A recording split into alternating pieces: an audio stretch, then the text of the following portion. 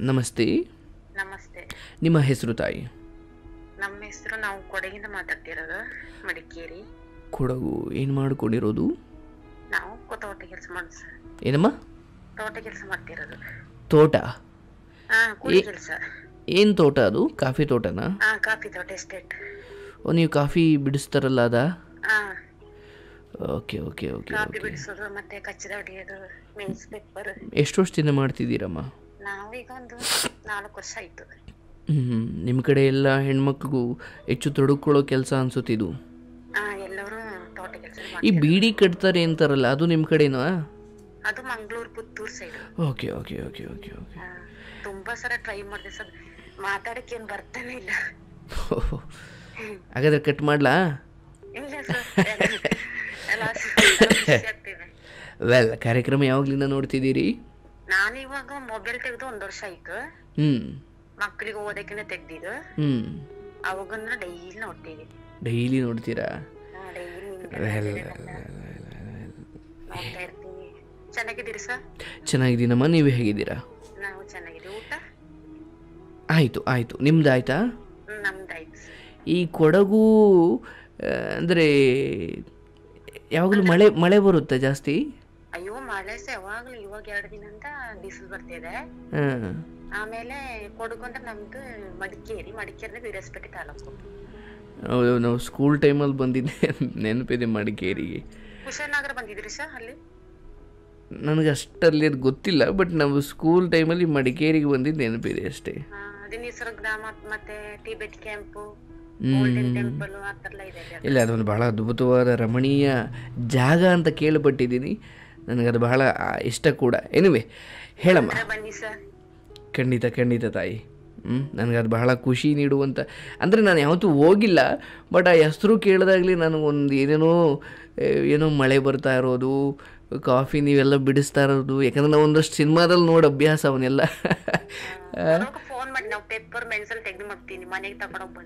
ಓ ಹೌದಾ? ಸರಿ ಸರಿ. ನಾವು ಇದನ್ನು ಸೇವ್ ಮಾಡ್ಕೊಂಡಿರ್ತೀವಿ ಮಾಡ್ತೀವಿ. ಹೇಳು ತಾಯಿ. ನಮ್ದು ಏನ್ ಕಷ್ಟ ಇದ್ದಿದೆ ಅಲ್ವಾ ಇದ್ದಿದ್ದೆ ಯಾರಿಗಿಲ್ಲ ಅಂತಲ್ಲ.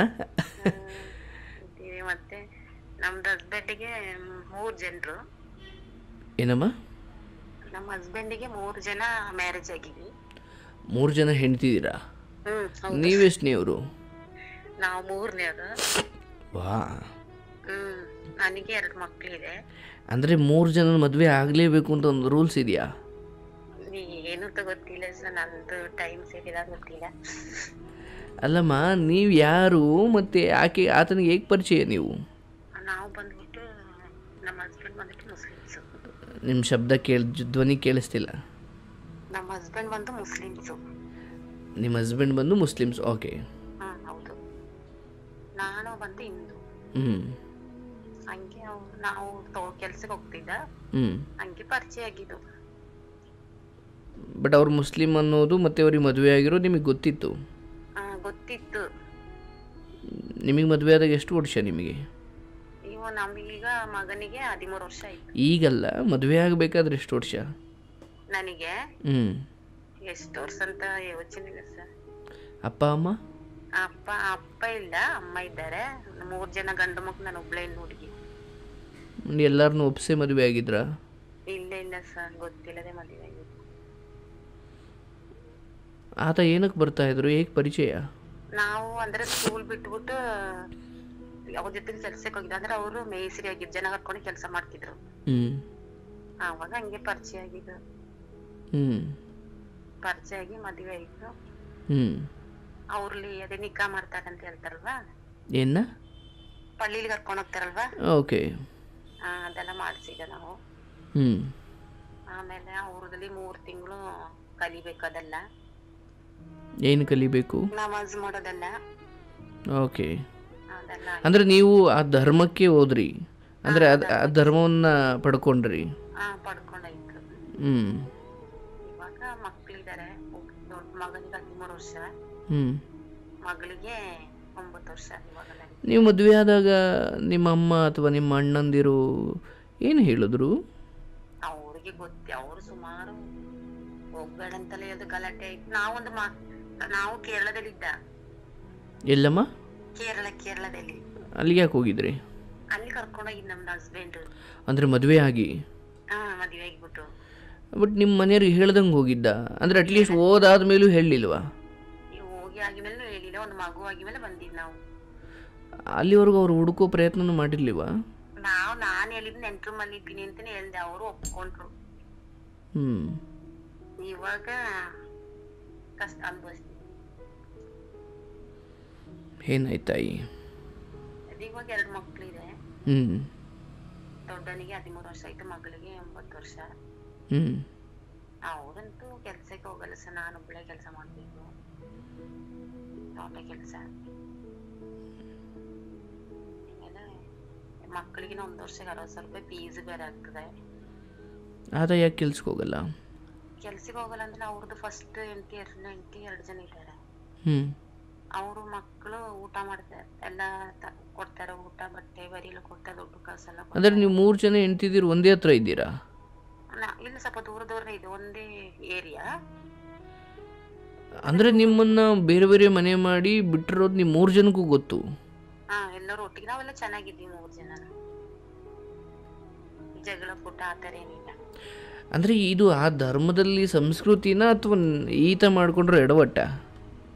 ಅವರೆಲ್ಲ ಒಪ್ಕೊಂಡ್ರು ಅವ್ರ ಮನೆಯವರೆಲ್ಲ ಒಪ್ಕೊಂಡು ಮದುವೆ ಮಾಡಿಸಿದ್ರು. ಹ್ಮ್. ಇವಾಗ ನಾವು ಅವರೆಲ್ಲ ಚೆನ್ನಾಗಿ ನಮ್ಮ ಅಮ್ಮನವರು ಚೆನ್ನಾಗಿದ್ದಾರೆ ತಮ್ಮಂದ್ರೆಲ್ಲ. ಹ್ಞೂ ಎಲ್ಲರೂ ಚೆನ್ನಾಗಿದ್ದೀವಿ. ಹ್ಞೂ ಆದ್ರೆ ಅವು ನಮ್ಮಲ್ಲಿ ಈ ತರ ಕರೆಂಟ್ ಏನಿಲ್ಲ ಓದಕ್ಕೆ ಅವ್ರ ಮನೆಗೆ ಹೋಗ್ತಾರೆ ಮಕ್ಕಳು ಹ್ಞೂ ಅವರು ಅಂದ್ರೆ ಮೂರು ಜನ ಹುಡುಗರಿದ್ದಾರೆ. ಜೋರ ಮಾತಾಡಮ್ಮ. ಹಾ. ಅವ್ರ ಮನೆ ಮೂರು ಜನ ಹುಡುಗರಿದ್ದಾರೆ ಯಾರ ಮನೇಲಿ? ಎರಡನೇ ಹೆಂಡತಿ ಮನೇಲಿ?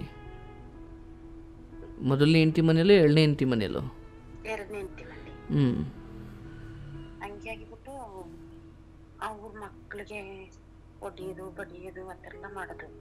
ಹ್ಞೂ ಇವ ನಾನು ಅವ್ರ ಮನೆಗೇನೆ ಹೋಗ್ಬೇಕು. ಬೈಯೋದು ಮತ್ತೆ ನನಗೆ ಏನು ಕೇಳೋಕ್ಕೂ ಆಗೋದಿಲ್ಲ ಸಹ ಅವ್ರ ಅಲ್ಲ ಯಾರು ಹೊಡಿಯೋದು ಅಂತ? ನಿಮ್ಮ ಮಕ್ಕಳಿಗೆ? ಹಾ. ಅಲ್ಲಿ ಯಾಕೆ ಕಳಿಸ್ತೀರಾ? ಅಲ್ಲಿ ಅಂದ್ರೆ ಅಲ್ಲಿ ಇರೋದು ಸರ್. ನಾನು ಕೆಲಸ ಬಿಟ್ಟು ಬರೋಕ ಬೆಳಿಗ್ಗೆ ಏಳು ಗಂಟೆಗೆ ಹೋಗ್ತೀನಿ ಕೆಲಸಕ್ಕೆ. ಬರುವಾಗ ಐದು ಗಂಟೆ ಐದುವರೆ ಆಗ್ತದೆ. ಅಂದ್ರೆ ಸ್ಕೂಲ್ ಬಿಟ್ಟು ಬಂದು ಅವ್ರ ಮನೆ ಇರ್ತಾರೆ. ರಾತ್ರಿ ಅವ್ರ ಮೇಲೆ ಒಂದ್ಸಲ ಮಲಗ್ತಾರೆ. ಅವ್ರ ಮನೇಲಿ ಊಟ ಮಾಡ್ತಾರೆ. ಅಂದ್ರೆ ಅಲ್ಲೇ ನಾನು ಬಿಟ್ಟು ಹೋಗೋದು ಇಲ್ಲಿ ಕರೆಂಟ್ ಇಲ್ಲ ನಮ್ಮಲ್ಲಿ ಅವ್ರ ಮನೆ ಓದ್ತಾರೆ ಕರೆಂಟ್ ಇಲ್ವಾ? ಇಲ್ಲ ಸರ್ ನಮ್ಮಲ್ಲಿ. ಅಂದ್ರೆ ಕರೆಂಟ್ ಕನೆಕ್ಷನ್ ಕೊಡಿಸಿಲ್ವಾ? ಇಲ್ಲ ಕಲೆಕ್ಷನ್ ಕೊಡ್ಸಿಲ್ಲ. ಯಾಕೆ? ಅದು ನಾವು ಹೊಸದಾಗಿ ಮನೆ ಕಟ್ಟಿದ್ದು ಇನ್ನೂ ಕಲೆಕ್ಷನ್ ಕೊಟ್ಟಿಲ್ಲ ಓಕೆ ಓಕೆ. ಅಂತ ನಾನು ಒಬ್ಬಳೇ ಕೆಲಸ ಮಾಡ್ಬೇಕಲ್ಲ ದುಡ್ಡು ಸುಮಾರು ಆಗ್ತದೆ ಮಕ್ಳಿಗೆ ಫೀಸ್ ಕಟ್ಟಿ ಅರವತ್ತು ಸಾವಿರ ರೂಪಾಯಿ ಆಗ್ತದೆ ಸರ್. ಕೇಳ್ಬೇಕು ಗಂಡನ್ನ ಮಾಡ್ಕೊಂಬಂದಿದೆಯಲ್ಲಪ್ಪ ಮಾಡುಯ್ಯ ಅಂತ. ಏನಕ್ಕೆ ಜಗ್ಗದಿಲ್ಲ ಸರ್. ಏನು ಮಾತಾಡೋದೇ ಅದಕ್ಕೆ ನಾವೀಗ ಹುಡುಗರ ಹತ್ರ ಏನ್ ಮಾತಾಡಕ್ಕೂ ಆಗೋದಿಲ್ಲ ಸರ್. ಯಾವ ಹುಡುಗರ ಹತ್ರ? ಅದೇ ಯಾಕೆ ನೀವು ಹೊಡಿತೀಯ ಬಡಿತೀಯ ಮಾತಾಡ್ತೀಯ ಅಲ್ಲಮ್ಮ ನೀನು ಕೇಳೋದಕ್ಕಿಂತ ಎಣ್ಣೆ ಹೆಂಡ್ತಿ ಅನ್ಸ್ಕೊಂಡವರು ನಮ್ಮ ಮಕ್ಳಿದ್ದಂಗೆ ಅಲ್ವಾ ಅವರು ಅಂದ್ಕೊಂಡು ಅವ್ರು ಕೇಳಬೇಕು. ನೀನು ಹೆಂಗೆ ಕೇಳ್ತೀಯ? ಅದೇ ಸಹ ಅವ್ರನ್ನ ಮಾತಾಡ ನನಗೆ ನನ್ನ ಕಣ್ಣು ಮುಂದೆನೆ ಹೊಡಿತಾರೆ ಸಹ ಆದ್ರೂ ನಾನು ಒಂದ ಏನು ಮಾತಾಡಂತ ಅಲ್ಲ ಕಚ್ಕೊಂಡಿರೋದು ಸರ್. ಮನೆಗೆ ಅಂದ್ಬಿಟ್ಟು ಪಾಪ ಚಿಕ್ಕ ಚಿಕ್ಕ ಮಕ್ಳಲ್ಲ, ಅವ್ರಿಗೆ ಏನ್ ಬುದ್ಧಿನಿಲ್ಲ ಯಾರು ಮಾತಾಡ್ಸೋ ಮಾತಾಡಿದ್ರೆ ಏನ್ ತಿನ್ನೋ ಕೊಟ್ಟು ತಿಂತಾರೆ ಸರ್ ಆದ್ರೆ ನಮ್ಮ ಮನೇಲೆಲ್ಲ ನಾನು ಇಷ್ಟವರೆಗೆ ಹೇಳಿಲ್ಲ, ಹೆಂಗು ತಪ್ಪು ಮಾಡಿ ಆಯ್ತು ಅಂತ ಹೇಳ್ಬಿಟ್ಟು ಜೀವನ ಮಾಡ್ತಿದ್ದೀನಿ ಸರ್ ಕಷ್ಟನ ಸುಖನ ಅಂತ ಹೇಳ್ಬಿಟ್ಟು. ಬಿಟ್ಟು ಹೋಗಕ್ಕೂ ಹಾಕಿಲ್ಲ ಅಲ್ಲ ಈಗ ನನ್ನ ಪ್ರಶ್ನೆ ನೀನು ಮುಸ್ಲಿಮನ್ನು ಮದುವೆ ಆಗಿ ನನಗೆ ಸಮಸ್ಯೆ ಇಲ್ಲ ಬಟ್ ಆತನಿಗೆ ಇಬ್ಬರು ಹೆಣ್ಮಕ್ಳು ಹೆಣ್ಗಸರು ಹೆಣ್ತಿದ್ದೀರಿ ಇದ್ದಾರೆ ಅಂತ ಗೊತ್ತಾಗಿಯೂ ಮಾಡು. ಮನೆಯಲ್ಲಿ ಸಂಸ್ಕಾರ ಕೊಟ್ಟಿಲ್ವ ನಿನಗೆ? ರೇ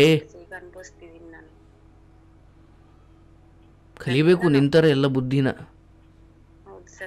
ಈಗ ಅನ್ಭವಿಸ್ತೀನಿ ಅದಕ್ಕೆ ನಾನು ಯಾರ ಹತ್ರ ಒಂದು ವಿಷಯ ಹೇಳಕ್ಕಿಲ್ಲ ಅದಕ್ಕೆ ನಿಮ್ಮ ಹತ್ರ ಎಲ್ಲ ಮನಸ್ಸು ಬಿಚ್ಚಿ ಅದಕ್ಕೆ ಕಷ್ಟ ಹೇಳ್ಕೊಂಡು ನಾನು ಫ್ರೆಂಡ್ಸ್ನ ಕೂಡ ಒಂದು ಫ್ರೆಂಡ್ಸ್ ಒಟ್ಟಿಗೆ ಹೇಳಿ ಹೇಳ್ಕೊಳ್ಬೇಕು ಅಷ್ಟು ಕಷ್ಟದಲ್ಲಿ ಇದ್ದೀನಿ ಹೇಳ್ಕೊಳ್ಳೋದಿಲ್ಲ ನನಗೆ ಅರ್ಥ ಆಗುತ್ತೆ ತಾಯಿ ಆದರೆ ನೀನು ಬೆಳೆದಿರೋ ವಾತಾವರಣ ನಿನಗಿರೋ ಮನಸ್ಸಿನ ಆ ಒಳ್ಳೆಯತನ ಅಥವಾ ಅದೆಂಥದ್ದು ಒಂದು ಮನೆಯಲ್ಲಿ ಅಪ್ಪ ಅಮ್ಮ ಹೇಳ್ಕೊಡದೆ ಹೋದರೂ ಅಂದರೆ ಈಗ ನೋಡು, ನನ್ನ ಮಕ್ಕಳು ಬೇರೆ ಅಲ್ಲ, ಅವ್ರ ಮಕ್ಕಳು ಬೇರೆ ಅಲ್ಲ ಅಂತ ನಿನ್ನ ಮನೆ ಪಕ್ಕ ನಿನ್ನ ಚಿಕ್ಕ ವಯಸ್ಸು ಜ್ಞಾಪನಿಸ್ಕೊಳಮ್ಮ ನಿನ್ನ ಮನೆ ಅಕ್ಕಪಕ್ಕದವ್ರು ನಿನ್ನ ಪರ ಅದು ಹೆಂಗಿದ್ರು? ಇವಾಗ ಯೋಚನೆ ಮಾಡ್ತಿದ್ದೀನಿ ಸರ್. ನನ್ನ ತಪ್ಪಾಯಿತು ಅಂತ ನನಗೆ ಅಪ್ಪ, ಅಮ್ಮನವ್ರ ಹತ್ರ ತಮ್ಮಂದ್ರಲ್ಲೇ ಇದ್ರೆ ಅವ್ರ ಒಂದು ಅಕ್ಷರ ಮಾತಾಡಲಿಲ್ಲ ಚೆನ್ನಾಗಿದ್ಯಮ್ಮ ಚೆನ್ನಾಗಿದ್ದೀನಿ, ಚೆನ್ನಾಗಿ ನೋಡ್ಕೊತಾರ ಚೆನ್ನಾಗಿ ನೋಡ್ಕೊತಾರ ಅಂತ ಅದು ಬಿಟ್ರೆ ಈ ಕಷ್ಟ ನೋವು ಎಲ್ಲ ನಾನೇ ನೋಡ್ಕೊಂಡಿದ್ದೀನಿ ತೋಟ ಕೆಲಸ ಮಾಡಿಕೊಂಡು ಬಂದು ಮನೆ ಕೆಲಸ ಮಾಡ್ತೀನಿ, ಎಲ್ಲ ಕೆಲಸ ಒಬ್ಬಳೇ ಮಾಡ್ತೀನಿ ನನಗೆ ಅರ್ಥ ಆಗುತ್ತೆ ತಾಯಿ. ಆದರೆ ಒಂದು ಒಂದು ಒಂದೇನಮ್ಮ ಅಂದರೆ ನಾವು ಸುಮ್ಮನೆ ಯೋಚನೆ ಮಾಡು. ಯಾವತ್ತೋ ಎಸ್ಪೆಷಲಿ ಮದುವೆ ವಿಚಾರದಲ್ಲಿ ತೆಗೆದುಕೊಂಡ ನಿರ್ಧಾರಗಳು ನನ್ನ ತಪ್ಪಾಯಿತು ಏನು ಮಾಡಲಿ ಸರ್?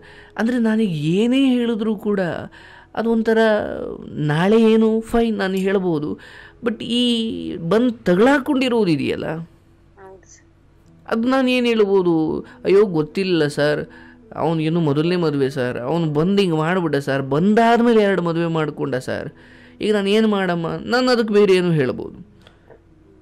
ಬಟ್ ನಿಂದು ಹೆಂಗಿದೆ ಅಂದರೆ ಇಲ್ಲ ಸರ್ ಅವನಿಗೆ ಎರಡು ಮದುವೆ ಆಗಿರೋದು ಗೊತ್ತಿತ್ತು ಸರ್. ಆತ ಮುಸ್ಲಿಂ ಅನ್ನೋದು ಗೊತ್ತಿತ್ತು ಸರ್. ಇದು ಮುಸ್ಲಿಂ ಸಮಸ್ಯೆ ಅಲ್ಲ. ಎಲ್ಲದಕ್ಕೂ ಅದೆಲ್ಲ ಈಗ ಬೇಜಾರು ಮಾಡೋದಿಲ್ಲ ಸರ್. ಈಗ ಎಲ್ಲ ಕಷ್ಟಗಳನ್ನ ನಾವು ತಿಂದು ಅನುಭವಿಸ್ತಿದ್ದೀವಿ ನನಗೆ ಅರ್ಥ ಆಗುತ್ತೆ. ಬಟ್ ನಾನು ಒಂದು ಹೇಳ್ಬೋದಮ್ಮ, ಕೆಲವೊಮ್ಮೆ, ಮನುಷ್ಯರೆಲ್ಲ ಒಂದೇ. ಮುಸ್ಲಿಮ್ ಆದ್ರೇನು, ಹಿಂದೂಗಳಾದ್ರೇನು, ಆದರೆ ನಾವು ಬೆಳೆದಿರೋ ರೀತಿ ನಮ್ಮನ್ನು ಅರ್ಥ ಮಾಡ್ಕೊಳ್ಳೋ ಸ್ವಭಾವ ಒಂದು ಹಂತಕ್ಕೆ ಬೇರೆ ಬೇರೆ ಇರುತ್ತಮ್ಮ ಅದು. ಈಗ ಆತನಿಗೆ ನಿನ್ನ ಒಳಗಿನ ವೇದನೆ ಎಲ್ಲರನ್ನು ಬಿಟ್ಟು ಒಂದು ಇಡೀ ಧರ್ಮವನ್ನೇ ಬದಲಾಯಿಸಿ ವೇಷವನ್ನು ಬದಲಾಯಿಸಿ ಭಾಷೆಯನ್ನು ಬದಲಾಯಿಸಿ ನನ್ನನ್ನು ನಂಬಿಕೊಂಡು ಬಂದಿರೋ ಒಂದು ಹೆಣ್ಣನ್ನು ನಾನು ಹೇಗೆ ನೋಡ್ಕೊಳ್ಬೇಕು ಅನ್ನೋ ಯೋಗ್ಯತೆ ಇಲ್ಲ ಅಂದರೆ ಈ ಮೂರು ಮೂರು ಬದುಕು ಅದು ಹೆಂಗದು? ಅಂಡ್ ಒಂದು ಹೆಣ್ಣಾಗಿ ಈ ಜನ್ಮದಲ್ಲಿ ಅಟ್ಲೀಸ್ಟ್ ಅದನ್ನು ಖಂಡಿಸೋದನ್ನು ಕಲಿ. ಹೌದು ನಿನ್ನ ಮಕ್ಕಳಿಗೆ ಏನೋ ಜೀವನ ಇದೆ ಅವ್ರು ಮಾಡ್ಕೊಳ್ತಾರೆ. ಆ್ಯಂಡ್ ನೀನು ನೀನು ಎಷ್ಟು ದುಡಿತೀಯ ನೀನು ಅಷ್ಟು ಮಾಡ್ಬೋದಮ್ಮ. ನೀನು ಮಕ್ಕಳು ಫೀಸ್ ಕಟ್ಬೋದು. ಆದರೆ ಈಗ ಅವರು ಅರೆ ನನ್ನ ಈ ಮೂರನೇ ಹೆಂಡತಿ ಮಕ್ಕಳಿದ್ದಂಗೆ ಎರಡನೇ ಹೆಂಡತಿ ಮಕ್ಕಳು ಎರಡನೇ ಮಕ್ಳು ಇದ್ದ ಹೆಂಡತಿ ಮಕ್ಕಳಿದ್ದಂಗೆ ಮೊದಲನೇ ಹೆಂಡತಿ ಮಕ್ಕಳು ಇದು ಎಲ್ಲರಲ್ಲೂ ಒಮ್ಮತವನ್ನು ತರೋ ಯೋಗ್ಯತೆ ಇಲ್ಲ ಅಂದರೆ ಯಾಕೆ ಕೂಡ ಹಾಕೊಳ್ಬೇಕು ಎಲ್ಲರನ್ನೂ ಒಂದು ಕಡೆ? ಸಿ ಒಂದು ನೀವೆಲ್ಲ ಹೆಂಗಿದ್ದೀರಾ ಅಂದರೆ ಹೆಂಡತಿ ಆಗಿಲ್ಲ. ಕೈ ಅಡಿಯಾಳು ಈ ಕೆಲಸ ಮನೆ ಕೆಲಸದಾಳಿಗೆ ಇರ್ತಾರಲ್ಲ ಹಂಗಿದ್ದೀರಾ ನೀವೆಲ್ಲ?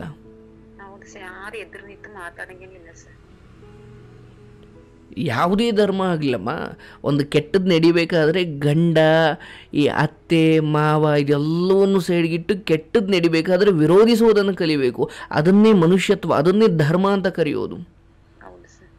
ಆ್ಯಂಡ್ ನೀನು ಎಲ್ಲಿವರೆಗೂ ಇಲ್ಲ ಸರ್, ತಪ್ಪು ಮಾಡಿಬಿಟ್ಟಿದ್ದೀನಿ. ಯಾರಿಗೂ ಇದು ನೋವು ಕೊಡೋದು ಬೇಡ ಸರ್. ಹೌದು ತಾಯಿ, ನಿನ್ನ ಒಳಗಿನ ಒಳ್ಳೆತನ ನಾನು ಗ್ರಹಿಸಬಲ್ಲೆ. ನಿನ್ನ ಮಾತಲ್ಲೇ ನನಗೆ ಅದು ಅರ್ಥ ಆಗುತ್ತೆ. ಆದರೆ ನನ್ನ ಒಳ್ಳೆತನವೇ ನನಗೆ ಶಾಪ ಆಗಬಾರ್ದಲ್ವಾ? ಪರವಾಗಿಲ್ಲ. ನಿನಗಾರು ತೊಂದರೆನೇ ಆ ಮಕ್ಕಳಿಗೂ ಆಗುತ್ತೆ, ಪರವಾಗಿಲ್ಲ. ಆ್ಯಂಡ್ ಜಗತ್ತು ಉಗಿಲಿ ಆಗಲಾದರೂ. ನಿನ್ನ ಬದುಕನ್ನು ಆ ಮಕ್ಕಳಿಗೆ, ಯಾಕಂದರೆ ನಿಮ್ಮ ಅಣ್ಣಂದಿರೀಗ ನೋಡಮ್ಮ ಈಗ ನಾನು ಇಷ್ಟೇ ಧರ್ಮ ಜಾತಿ ಇವೆಲ್ಲವನ್ನು ಮೀರಿ ಮಾತಾಡಿದ್ರು ನಿಮ್ಮ ಅಣ್ಣಂದಿರು ಊರಲ್ಲಿ ಮುಖ ಎತ್ಕೊಂಡು ಓಡಾಡಲಿಕ್ಕೆ ಎಷ್ಟಮ್ಮ ಸಾಧ್ಯ ಈಗ? ಈಗ ಅವ್ರಿಗೂ ಅವ್ರದೇ ಆದ ತೊಂದರೆಗಳು ಕೊಟ್ಟಿರ್ತೀಯಲ್ವ ನೀನು? ಅದು ಪಾಪ ಅವ್ರು ಹೇಳ್ಕೊಳ್ಳಲ್ಲ. ಈಗ ಫೋನ್ ಮಾಡಿದಾಗ ಏನಮ್ಮ ಚೆನ್ನಾಗಿದೆಯಾ ತಾಯಿ? ನೋಡ್ಕೊಳ್ತಾನ ಚೆನ್ನಾಗಿ ಗಂಡ. ಈಗ ಅವ್ರ ಒಳ ದುಃಖವನ್ನು ಮರೆತವ್ರು ಮಾತಾಡ್ತಾರೆ. ಹಾಗಾಗಿ ನೀನೇನು ಮಾಡಬೇಕು? ನೀನೇನು ಕೆಲಸ ಮಾಡ್ತಾ ಇದೆಯಾ? ಅದನ್ನು ಶ್ರದ್ಧೆಯಿಂದ ಮಾಡು. ನೀನು ನೀನು ಮದುವೆ ಆಗಿರೋದು ಮುಸ್ಲಿಂ ಆಗಿರ್ಬೋದು, ಆದರೆ ನಿನ್ನ ಹುಟ್ಟು ಗುಣ ಏನಿದೆ? ನಿನ್ನ ಮೂಲ ಧರ್ಮ ಏನಿದೆ? ನಿನ್ನ ಮೂಲ ವ್ಯಕ್ತಿತ್ವ ಏನಿದೆ? ಅದು ಧರ್ಮ ಅಂದರೆ ಹಿಂದೂ ಧರ್ಮದ ಬಗ್ಗೆ ನಾನು ಮಾತಾಡ್ತಿಲ್ಲ, ಅಥವಾ ಮುಸ್ಲಿಂ ಧರ್ಮದ ಬಗ್ಗೆ ಮಾತಾಡ್ತಿಲ್ಲ. ಕೆಟ್ಟದ್ದನ್ನು ವಿರೋಧಿಸೋದನ್ನು ನಮ್ಮ ಧರ್ಮ ನಮಗೆ ಹೇಳಿಕೊಟ್ಟಿದೆ. ಅದು ಗಂಡ ಆಗಲಿ, ಗುರು ಆಗಲಿ, ಯಾ, ಗುರುಗಳಿಗೆ ಹೇಳಿದ ಧರ್ಮ ನಮ್ಮ ನಮ್ಮದು ಗುರುಗಳೇ, ನೀವು ಮಾಡ್ತಿರೋದು ಅಥವಾ ನೀವು ಹೇಳ್ತಿರೋದು ತಪ್ಪು ಅಂತ ಹೇಳಿರೋ ಧರ್ಮ. ಅಂಡ್ ಇವನೊಬ್ಬನೇ ಇವನನ್ನೇ ನಂಬಬೇಕು ಅಂತ ನೋಡ್ಕೊಂಡು ಕೂತ್ಕೊಳ್ಳೋ ಧರ್ಮ ಅಲ್ಲ. ಇಲ್ಲ, ನೀವು ಹೇಳ್ತಿರೋ ನಾವು ಕೃಷ್ಣನನ್ನು ವಿರೋಧಿಸಿದ್ದೀವಿ ಕೆಲವು ವಿಚಾರದಲ್ಲಿ, ರಾಮನನ್ನು ವಿರೋಧಿಸಿದ್ದೀವಿ, ಗಾಂಧಿಯನ್ನು ವಿರೋಧಿಸಿದ್ದೀವಿ. ಯಾಕಂದ್ರೆ ಅದು ತಪ್ಪು ಅಂತ ಕಂಡು ಬಂದಾಗ ವಿರೋಧಿಸೋ ಗುಣ ಇರತಕ್ಕಂತಹ ನೆಲ ಇದು. ಹಾಗಾಗಿ ನಾನು ಹೇಳೋದು, ಇದೆಲ್ಲದಕ್ಕೂ ಉತ್ತರ ಏನು ಗೊತ್ತನಮ್ಮ ಒಂದು, ನಾನು ಅದು ಕೆಟ್ಟದ್ದು ಅಂತ ಗೊತ್ತಾದಾಗ ವಿರೋಧಿಸೋದನ್ನು ಎಂದಿಗೆ ನಾನು ನಿಲ್ಲಿಸ್ತೀನಿ, ಗೊತ್ತಿದ್ದು ಸುಮ್ಮನೆ ಇರ್ತೀನಿ, ನಾನು ಅಳೋದಿಕ್ಕೂ ಯೋಗ್ಯಳಲ್ಲ, ಹಾಗೆ ನೋಡಿದ್ರೆ. ಅಳಬಾರ್ದು, ಯಾಕಂದರೆ ಸೊಳ್ಳೆ ಕಚ್ಚಿದ ಇದೆ, ಕಿತ್ತು ಕೆರ್ಕೊಳ್ಳೋ ಶಕ್ತಿ ಇಲ್ಲ ಅಂದಾಗ ನಾನು ಅಳೋದು ಅತ್ರ ಏನು ಪ್ರಯೋಜನ? ಕೈ ಇದ್ದು ಎಲ್ಲವೂ ಚೆನ್ನಾಗಿದ್ದು. ಅಲ್ಲಿ ಏನೋ ಕಚ್ಚಿತು ಅಂದಾಗ ಅದನ್ನು ಅಟ್ಲೀಸ್ಟ್ ಅದು ಕೆರ್ಕೊಳ್ಳೋ ಸ್ವಭಾವನು ಅಥವಾ ಆ ಪ್ರಯತ್ನನೂ ನಾನು ಮಾಡ್ತಿಲ್ಲ ಅಂದಾಗ ಸೊಳ್ಳೆ ಕಡಿತು ಅಂತಲೂ ನಾನು ಯಾರಿಗೂ ಹೇಳಂಗಿಲ್ಲ. ನಿನ್ನ ದುಃಖ ನಾನು ಅರ್ಥ ಮಾಡಿಕೊಳ್ಳಬಲ್ಲೆ ಬದುಕೆಂದಿಗೂ ಮುಕ್ತಾಯ ಆಗಿಲ್ಲಮ್ಮ ಬದುಕು ಬಹಳ ದೀರ್ಘವಾದದ್ದು. ನೀನು ಅವತ್ತು ತೆಗೆದುಕೊಂಡ ನಿರ್ಧಾರ ಅದ್ಯಾವುದೋ ಮುಸ್ಲಿಂ ಹಾಗೇನಲ್ಲ. ಆತ ಒಳ್ಳೆಯವನಿದ್ದಾನೆ ಎನ್ನುವುದು ನೀನು ಅಂದ್ಕೊಂಡೇ ನೀನು ತಗೊಂಡಿದ್ದೀಯ. ಬಟ್ ಹೆಂಗಾಗುತ್ತೆ ಅಂತ ನಿನಗೆ ಗೊತ್ತಿಲ್ಲ. ಆದರೆ ಎಲ್ಲಾದರೂ ಅರ್ಥ ಮಾಡ್ಕೋ, ಒಂದು ಗಂಡಿಗೆ ಒಂದು ಹೆಣ್ಣು ಅನ್ನೋದೇ ಧರ್ಮ. ಮೂರು ಮೂರು ಜನ, ನಾಲ್ಕು ನಾಲ್ಕು ಜನ, ಅರೆ ಒಬ್ಬ ದುಡ್ದು ನಿಮ್ಮ ತಂದೆ ತಾಯಿನೇ ಲೆಕ್ಕ ಹಾಕಮ್ಮ. ನಿಮ್ಮ ಮೂರು ಮಕ್ಕಳನ್ನೇ ನಿಮ್ಮ ಗಂಡ ನಿಮ್ಮ ಅಪ್ಪನಿಗೆ ಒಬ್ಬ ಹೆಂಡತಿ ನಿಮ್ಮ ಅಮ್ಮನಿಗೆ ಒಬ್ಬ ಗಂಡ ಅವರಿಬ್ಬರು ನಿಮ್ಮನ್ನು ಸಾಕಲಿಕ್ಕೆ ಎಷ್ಟು ಒದ್ದಾಡು ಹೋದರು. ಹಿಂಗೆ ಈಗ ಎಲ್ಲೆಲ್ಲಿ ಬೇಕಲ್ಲಲ್ಲಿ ಮದುವೆ ಆಗ ಅಲ್ಲಲ್ಲಿ ಅಲ್ಲಲ್ಲಿ ಅಲ್ಲಲ್ಲಿ ಒಂದು ರೂಮ್ ಮಾಡ್ಕೊಡ್ಲಿಕ್ಕೆ ಇದೇನು ಛತ್ರನ ಇದು.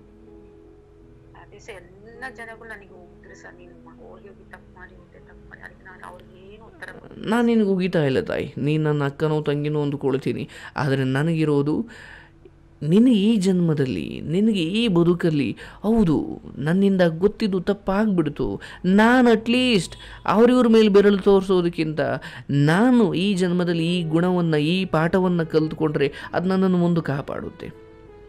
ಯಾಕಂದರೆ ಇದೊಂದು ಅಷ್ಟೇ ಅಲ್ಲಮ್ಮ. ಆಕೆ ಬೇರೆ ಬೇರೆ ಧರ್ಮಗಳಲ್ಲಿ ಪುನರ್ಜನ್ಮವನ್ನು ನಂಬಲ್ಲ. ಬಟ್ ನಾನು ಹೇಳೋದು, ಇಲ್ಲಿ ನೀನು ನಮ್ಮಲ್ಲಿ ಯಾವಾಗಲೂ ಒಂದು ಮಾತು ಹೇಳ್ತಾರೆ, ಇಲ್ಲಿ ಒಳ್ಳೆಯದನ್ನು ಕಲಿಬೇಕು ಅಂದ್ಕೊಳ್ಳಪ್ಪ ಮುಂದಿನ ಜನ್ಮದಲ್ಲಿ ನೀನು ಅಂದುಕೊಂಡ ಕಾರಣಕ್ಕಾಗಿ ಒಳ್ಳೆಯದನ್ನು ಕಲಿಸೋ ಜಾಗದಲ್ಲಿ ಹುಟ್ಟುತ್ತೀಯಂತೆ. ಇಲ್ಲಿ ನೀನು ಜ್ಞಾನದ ದಾರಿಯಲ್ಲಿ, ತಿಳುವಳಿಕೆಯ ದಾರಿಯಲ್ಲಿ ಒಂದು ಮೆಟ್ಲತ್ತ ಸಾವು ಬಂದುಬಿಡ್ತಾ, ಪರವಾಗಿಲ್ಲ. ದೇಹ ನಾಶ ಆಯಿತು ಬಟ್ ಏನೋ ಕಲ್ತಲ್ಲ. ಅದು ನಾಶ ಆಗಿಲ್ಲ. ನಿನಗೆ ಈ ಮುಂದಿನ ಜನ್ಮದಲ್ಲಿ ಎರಡನೇ ಮೆಟ್ಲಿಂದ ಶುರು ಮಾಡ್ತೀಯ ನೀನು. ಅಂದರೆ ಹಿಂದಿನ ಜನ್ಮದಲ್ಲಿ ನೀನು ಕಲ್ತಿರೋ ಒಂದು ಮೆಟ್ಲಿದೆಯಲ್ಲ ಅದು ವೇಸ್ಟ್ ಅಲ್ಲ. ಈಗ ಎಷ್ಟೋ ಮಕ್ಳುಗಳು ನೋಡ್ತೀಯ, ಚಿಕ್ಕ ಚಿಕ್ಕ ವಯಸ್ಸಲ್ಲಿ ದೊಡ್ಡ ದೊಡ್ಡ ಸಾಧನೆ ಮಾಡಿಬಿಡ್ತಾರೆ. ಹೆಂಗಪ್ಪ ಇದು? ಹೆಂಗ್, ಯಾಕೆಂದರೆ ಆ ಆತ್ಮಗಳು ಇಂದಿನ ಜನ್ಮದಲ್ಲಿ ಅಂಥದ್ದೊಂದು ಸಾಧನೆ ಕೈ ಹಾಕ್ಬಿಟ್ಟು ಅರ್ಧಕ್ಕೆ ಬಂದು ಅಲ್ಲಿ ಸಾವಾಗಿರುತ್ತೆ, ಇಲ್ಲಿ ಬಂದು ಅದನ್ನು ಕಂಟಿನ್ಯೂ ಮಾಡ್ತಾವ್ರೆ. ಹಾಗಾಗಿ ಈ ತಿಳುವಳಿಕೆ, ಈಗ ಸೋಲುಗಳಿಂದ ಆಗಿರ್ಬೋದು, ಗೆಲುವುಗಳಿಂದ ಆಗಿರ್ಬೋದು, ಗೆಲುವು ಸೋಲು ಶಾಶ್ವತವಲ್ಲ, ಅದರಿಂದ ಏನು ತಿಳ್ಕೊಂಡ್ರಲ್ಲ, ನಿಮ್ಮ ಆತ್ಮಕ್ಕೆ ಸಿಕ್ಕ ಜ್ಞಾನ ಇದೆಯಲ್ಲ, ಅದು ನಿಮ್ಮನ್ನು ಮುಂದೆ ಮುಂದೆ ಮುಂದೆ ಮುಂದೆ ಕಾಪಾಡುತ್ತೆ. ಈಗ ಹತ್ತನೇ ಕ್ಲಾಸ್, ಹತ್ತನೇ ಕ್ಲಾಸಲ್ಲಿರೋ ಒಬ್ಬ ವಿದ್ಯಾರ್ಥಿ ಹನ್ನೊಂದನೇ ಕ್ಲಾಸ್ ಪಾಠವನ್ನು ಸ್ವಲ್ಪ ತಿಳ್ಕೊಂಡಿದ್ದಾನೆ ಎನ್ನುವುದಾದರೆ, ಅವನು ಹನ್ನೊಂದನೇ ಕ್ಲಾಸಿಗೆ ಹೋದಾಗ ಬೇರೆಲ್ಲ ವಿದ್ಯಾರ್ಥಿಗಳಿಗಿಂತ ಒಂಚೂರು ಮುಂದಿರ್ತಾನೆ. ಯಾಕಂದರೆ ಹತ್ತನೇ ಕ್ಲಾಸನ್ನು ಹೋಯ್ತು ಅದು ಹೋಯ್ತು ಬಟ್ ಒಳಗಡೆ ತಿಳ್ಕೊಂಡಿದ್ದ ವಿಚಾರ ಇದೆಯಲ್ಲ, ಹತ್ತನೇ ಕ್ಲಾಸಲ್ಲಿ ಕೂತಿದ್ದ ವಿದ್ಯಾರ್ಥಿನೇ ಹನ್ನೊಂದನೇ ಕ್ಲಾಸಿಗೆ ಬಂದ. ಬಟ್ ಏನಂದ್ರೆ ಹತ್ತನೇ ಕ್ಲಾಸು ಅನ್ನೋದು ಹೋಯ್ತು, ಹೊರತು ಒಳಗಡೆ ತಿಳ್ಕೊಂಡ ಜ್ಞಾನವನ್ನು ಬಟ್ಟೆ ಬಿಚ್ಚಾಕದ್ ಮಾತ್ರ ಜ್ಞಾನ ಬಿಚ್ಚಾಕ್ಲಿಕ್ಕೆ ಆಗಲ್ಲ ಹಾಗೆ ಈ ಜನ್ಮದಲ್ಲಿ ನೀನು ತಿಳ್ಕೊ ಇದು ಯಾವುದು ಧರ್ಮಕ್ಕೂ ಸಂಬಂಧಿಸಿದ್ದಲ್ಲ, ಯಾವುದೋ ಧರ್ಮವನ್ನು ನಾನು ಹೀಯಾಳಿಸ್ತಾನೂ ಇಲ್ಲ. ನಾನು ಹೇಳ್ತಾ ಇರೋದು, ಕೆಲವು ತಪ್ಪುಗಳು, ಅಂದರೆ ಅಲ್ಲಿಬ್ಬರು ಹೆಂಡತಿ ಇದ್ದರು ಅನ್ನೋದಾದರೆ ನಾನು ನನ್ನ ಮೋಹದ ಕಾರಣಕ್ಕಾಗಿ ನನ್ನ ಬದುಕನ್ನು ಹಾಳು ಮಾಡ್ಕೊಂಡ್ಬಿಟ್ನಲ್ಲ. ಸರಿ, ಈಗ ನಾನೇ ನಿರ್ಧಾರ ತೆಗೆದುಕೊಂಡು ನಾನೇ ಮದುವೆ ಆಗಿರುವುದು ಅನ್ನೋದಾದರೆ, ಈಗ ಯಾರನ್ನೂ ನ್ಯಾಯ ಕೇಳಲಿಕ್ಕಾಗಲ್ಲ, ನಾನೇ ಸರಿ ಮಾಡ್ಕೊಂಡು ಹೋಗಬೇಕು.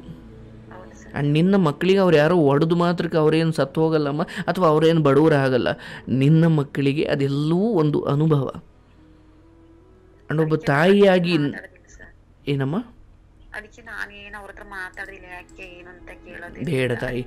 ಅಂದರೆ ಒಬ್ಬ ತಾಯಿಯಾಗಿ ನೀನು ಮಾಡೋ ಎಡವಟ್ಟುಗಳು ನಿನ್ನ ಮಕ್ಕಳು ಅನುಭವಿಸ್ತಾ ಇದ್ದಾರೆ ಅಷ್ಟೇ. ನಿನ್ನ ಹೊಟ್ಟೆ ಹುಟ್ಟಿ ಇಂಥದ್ದೊಂದು ಪರಿಸ್ಥಿತಿ ಬರ್ಲಿಕ್ಕೆ ನೀನೇ ಕಾರಣ ಆಗ್ಬಿಟ್ಟಲ್ಲ? ಅಲ್ಲ ಕೇಳ್ಬೋದು ಸರ್ ಈಗ ಯಾಕೆ ಆ ಥರ ಮಾಡ್ತೀರಾ ಅಂತ. ಈಗ ನೀನು ಕೇಳಿದ್ರು ಕೂಡ ನನಗನ್ಸುತ್ತಮ್ಮ ಇನ್ನೊಂದು ಚಿಕ್ಕ ಮಕ್ಕಳಿಗೆ ಹೊಡಿಬಾರ್ದು ಅಂತ ಬೇರೆ ಯಾವ ತಾಯಿಗಾದರೂ ಅರ್ಥ ಆಗುತ್ತಲ್ವಾ? ಅರ್ಥ ಆಯ್ತಲ್ವ? ನೀನು ಬಿ ಕೇಳ್ಬಿಟ್ಟು ಸರಿ ಮಾಡೋದಲ್ಲ.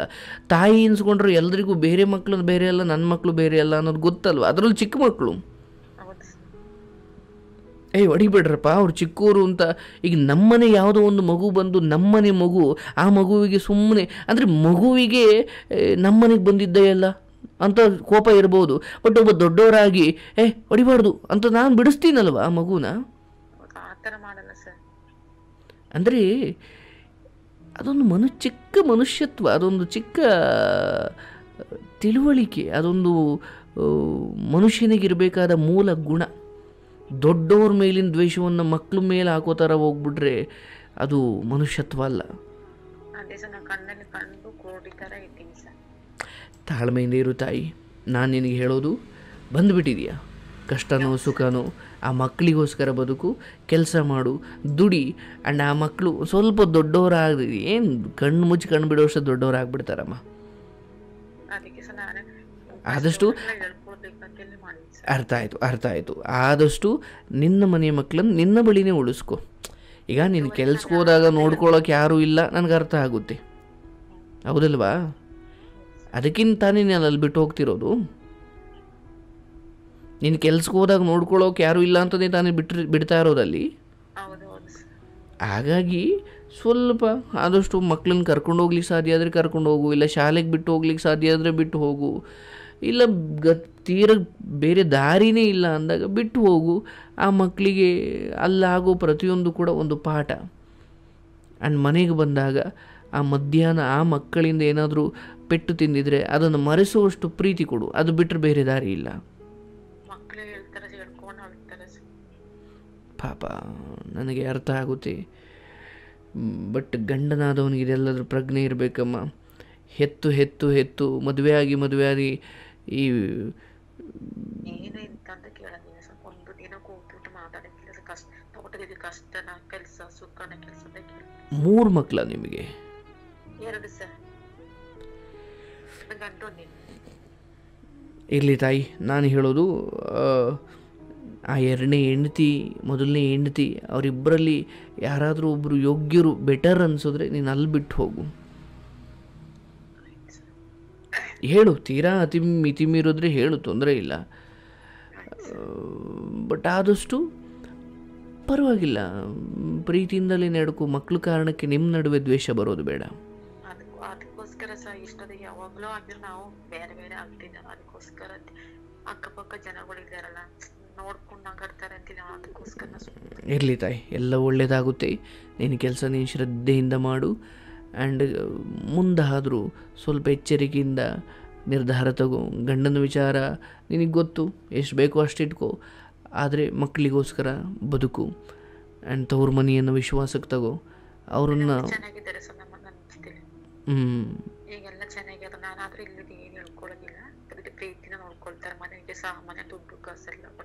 ಹ್ಞೂ ಹ್ಞೂ ಹ್ಞೂ ಹ್ಞೂ ಇರಲಿ ಇರಲಿ, ಎಲ್ಲ ಒಳ್ಳೆಯದಾಗುತ್ತೆ ನನಗೆ ಬಹಳ ಖುಷಿಯಾಗಿದ್ದು ನೀನು ತೆಗೆದುಕೊಂಡಿರೋ ನಿರ್ಧಾರಗಳನ್ನು ಮೀರಿ.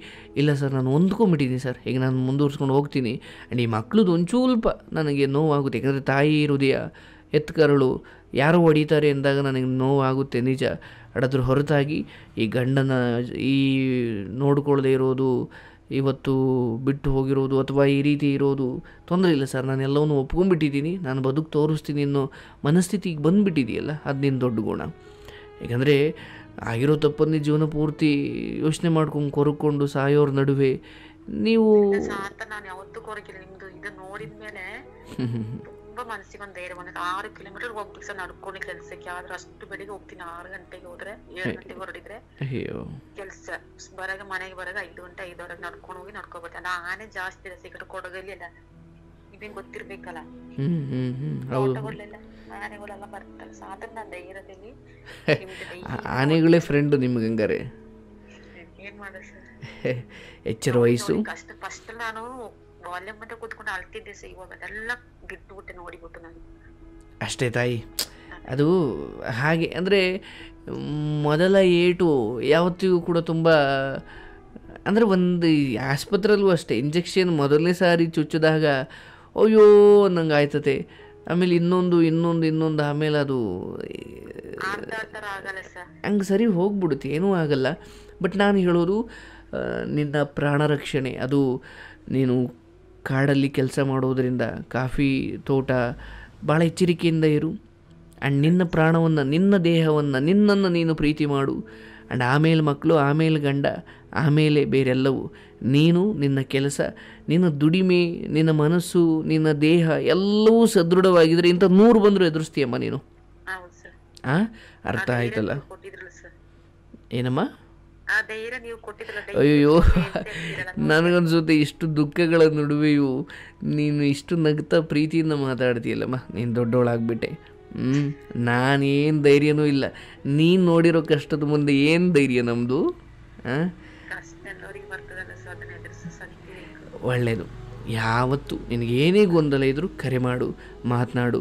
ನನಗೆ ಬಹಳ ಖುಷಿ ಅನ್ನಿಸ್ತು ನಿನ್ನ ಬಗ್ಗೆ. ಯಾಕಂದರೆ ನೀನು ಬದುಕನ್ನು ಸ್ವೀಕರಿಸಿರೋ ರೀತಿ ಆ್ಯಂಡ್ ಒಂದು ಮುಸ್ಲಿಂ ಹಿಂದೂ ಇದನ್ನು ಮೀರಿ ಬೆಳೆದಿರೋ ನಿನ್ನ ಪ್ರೀತಿ ನನಗೆ ಬಹಳ ಖುಷಿ. ಹೌದು ಅಲ್ಲೇನೋ ಕೆಟ್ಟಿದೆ ಅಲ್ಲೇನೋ ಸಮಸ್ಯೆ ಆಗಿದೆ ನಿಜ ಬಟ್ ನಾನು ನಿನಗೆ ಬಹಳ ಪ್ರೀತಿಯಿಂದ ಹೇಳ್ತೀನಿ ಈ ಸಂಬಂಧವನ್ನು ಉಳಿಸ್ಕೊಳ್ಳೋ ಪ್ರಯತ್ನ ಮಾಡು. ಅರ್ಥ ಆಯ್ತಲ್ವಾ? ಈಗ ಕಿತ್ಕೊಂಡು ಹೋಗ್ಲಿಕ್ಕೆ ನಮಗೆ ನೂರು ಕಾರಣ ಇರ್ಬೋದು. ಬಟ್ ಈ ಪ್ರೇಮ, ಕರುಣೆ, ಬಾಂಧವ್ಯ ಅನ್ನೋದು ಎಲ್ಲದಕ್ಕೂ ಮೀರಿದ್ದು. ಆದರೆ ಕೆಟ್ಟದ್ದು ಅಂತ ಕಂಡು ಬಂದಾಗ ಅದು ಗಂಡ ಆಗಲಿ ಮಕ್ಕಳಾಗಲಿ ಕೆಲಸ ಕೊಟ್ಟ ಬಾಸ್ ಆಗಲಿ, ವಿದ್ಯೆ ಕಲಿಸಿದ ಗುರು ಆಗಲಿ ಕೆಟ್ಟದ್ದು ಅಂತ ಬಂದಾಗ ಅದನ್ನು ವಿರೋಧಿಸೋದನ್ನು, ವಿರೋಧಿಸೋದು ಅಂದರೆ ಬೈಕೊಂಡು ಓಡಾಡೋದು ಅಂತಲ್ಲ, ಅದನ್ನು ಅವರಿಗೆ ತಿರುಗಿಸಿ ಹೇಳೋದು ಕಲಿಯದೆ ಹೋದರೆ ಅದು ದೊಡ್ಡದಾದಾಗ ಹೇಳಲಿಕ್ಕೆ ಹೋದರೂ ಅದು ಕೇಳಲ್ಲ. ಸೊ ನಿಮ್ಮ ಮಕ್ಕಳ ವಿಚಾರದಲ್ಲೂ ಅಷ್ಟೇ. ಅದಕ್ಕೆ ಸಾಮ ವೇದ ದಂಡ ಅಂತ. ಅಂದರೆ ಶುರು ನಿಧಾನಕ್ಕೆ ಮೊದಲು ಬಾಯಿ ಮಾತಲ್ಲಿ ಹೇಳೋದು. ಆಮೇಲೆ ಸ್ವಲ್ಪ ಕಠೋರವಾಗಿ ಹೇಳೋದು. ಆಮೇಲೆ ದಂಡಿಸೋದು ಅಂತ. ಮೂರು ವಿಧಾನ ಇದ್ದಾವೆ ನಮ್ಮಲ್ಲಿ. ಹಾಗಾಗಿ ಏನೂ ಇಲ್ಲ. ಅವರಿಗೆ ಬಹಳ ಪ್ರೀತಿಯಿಂದ. ಅಂದರೆ ಅದಕ್ಕೊಂದು ಸಮಯ ಅಂತ ಬರುತ್ತೆ. ಹಿಂಗೇನೋ ಏನೋ ಮಾತಾಡಬೇಕಾದ್ರೆ ಅಯ್ಯೋ ನಮ್ಮ ಮಗು ಅಳ್ತಾ ಇತ್ತು ನಿಮ್ಮ ಮಕ್ಕಳು ಹೊಡೆದು ಬಿಟ್ಟುವಂತೆ ನಾನು ಹೇಳಿದೆ ಅಣ್ಣಂದಿರು ಬಿಡ, ಏನಾಗಲ್ಲ ಅಂತ ಹೇಳಿದೆ ಬಟ್ ಒಳದು ಹೊಡಿತಾವು ಕಣಮ್ಮ. ನೀನು ಆ ತಾಯಿಗೆ ಕರುಳು ಏನು, ಕಲಕುವಂತೆ ನೀನು ಸಮಯ ನೋಡಿಕೊಂಡು ಹೇಳಬೇಕು. ಅರ್ಥ, ಯಾಕಂದರೆ ಎಲ್ಲರೂ ಒಂದು ಮಗು ಎತ್ತಿರೋರಿಗೆ ಇನ್ನೊಂದು ಮಗುವಿನ ಕಷ್ಟ ಅಂತ ಗೊತ್ತು. ಬಟ್ ಅವ್ರಿಗೆ ಅದು ಪಾಪ ಗೊತ್ತಿಲ್ವೇನೋ, ಅಥವಾ ಗೊತ್ತಿದ್ರೂ ಅವ್ರಿಗೆ ಅದು ಗೊತ್ತಾಗುತ್ತಿಲ್ವೇನೋ ಸರಿಯಾಗಿ. ಹಾಗಾಗಿ ಒಬ್ಬ ತಾಯಿಯ ದುಃಖ ನೀನು ಹೇಳದೆ ಹೋದ್ರೆ ಆಕೆಗೆ ಹೇಗೆ ಅರ್ಥ ಆಗುತ್ತೆ? ಸಮಯ ನೋಡ್ಕೊಂಡು ಹೇಳು. ಓಕೆ ಒಳ್ಳೇದಾಗಲಿ ನಿನಗೆ. ಥ್ಯಾಂಕ್ ಯು ಖಂಡಿತ. ಸೇವ್ ಮಾಡ್ಕೊಂಡಿರ್ತೀವಿ. ಸೇವ್ ನಾನು ಆ ಕಡೆ ಬಂದಾಗ ಫೋನ್ ಮಾಡ್ತೀವಿ ತಾಯಿ. ಹ್ಞೂ ಶುಭವಾಗಲಿ.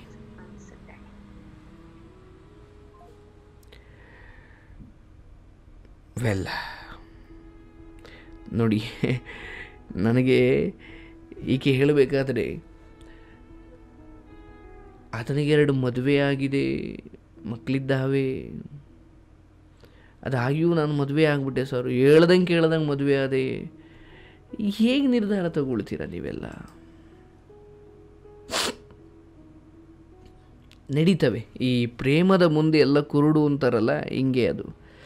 ಬಟ್ ಇರಲಿ, ಅದರ ನಡುವೆಯೂ ಈಕೆ ಹೊಂದಾಣಿಕೆ ಮಾಡಿಕೊಂಡು ಹೋಗುತ್ತಿದ್ದಾರಲ್ಲ ಭಾಳ ಖುಷಿ. ಒಳ್ಳೆಯದಾಗಲಮ್ಮ ಮಕ್ಕಳ ವಿಚಾರದಲ್ಲಿ ಭಯ ಬೇಡ, ಗೊಂದಲ ಬೇಡ. ಭಗವಂತ ಅವಕ್ಕೂ ಒಂದು ದಾರಿ ಮಾಡಿರ್ತಾನೆ.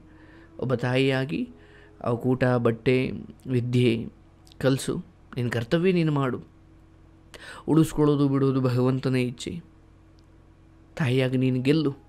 ಶುಭವಾಗಲಿ, ಮನಸ್ಸಿಗೆ ದುಃಖ ಮಾಡಿಕೊಳ್ಬೇಡ. ಏನು ಬರುತ್ತೋ ಅದನ್ನು ಎದುರಿಸೋದನ್ನು ಕಲಿ. ಆ್ಯಂಡ್ ಕೈಯಲ್ಲಿ ಕೆಲಸ ಇದೆ ಮನಸ್ಸಲ್ಲಿ ಧೈರ್ಯ ಇದೆ. ಆ್ಯಂಡ್ ಜಗತ್ತಿನ ಜ್ಞಾನ ಇದೆ. ಇಷ್ಟು ಸಾಕು. ನೀನು ಎಲ್ಲಿ ಹೋದರೂ ಬದುಕ್ತೀಯ. ನಿಮ್ಗೆ ಒಳ್ಳೇದಾಗಬೇಕು, ಒಳ್ಳೇದಾಗಲಿ. ನಿಮ್ಮ ತಾಯಿ, ನಿಮ್ಮ ಅಣ್ಣಂದಿರನ್ನೂ ಬಿಡಬೇಡ. ಅವ್ರನ್ನೂ ವಿಶ್ವಾಸಕ್ಕೆ ತಗೋ, ಅವರನ್ನು ಪ್ರೀತಿಯಿಂದ ಮಾತಾಡಿಸು. ಯಾಕಂದರೆ ನಿನ್ನ ಬಾಲ್ಯವನ್ನು, ಬಾಲ್ಯದಲ್ಲಿ ಬೆಳೆಸಿ ನಿನ್ನನ್ನು ದೊಡ್ಡೋಳು ಮಾಡಿರೋ ಆ ಜಾಗ ಮರಿಬಾರ್ದು. ಅತ್ತಿದೆ ಏಣಿ ಒದಿಬಾರ್ದು. ಶುಭವಾಗಲಿ ಒಳ್ಳೆಯದಾಗ್ಲಮ್ಮ